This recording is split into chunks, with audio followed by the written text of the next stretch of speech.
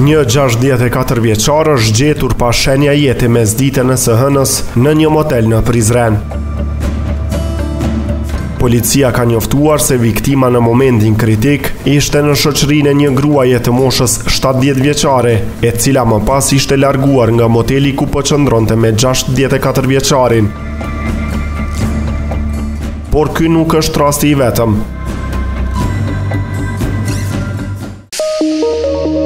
Për të mos humbur asgjë, abonohu në kanalin 5 minuta shqip. Në Kosovë janë jo të rralla rastet kur të moshuarit humbin jetën në motele. Po pse po vdesin të moshuarit në motele? Seksologu Hajrulla Fejza ka treguar se çfarë po ndikon që këta persona të humbin jetën aty.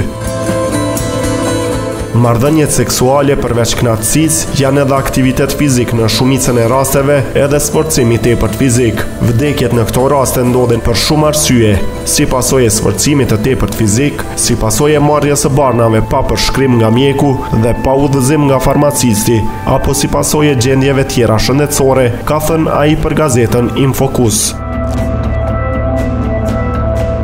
Fejza thotë se raste të tilla parandalohen nëse konsultohen paraprakisht me mjekët. Seksologu kosovar shton se duhet një edukim i mjekëve dhe farmacistëve në kuptim të këshillimit me pacient lidhur me shëndetin seksual dhe nevojat seksuale.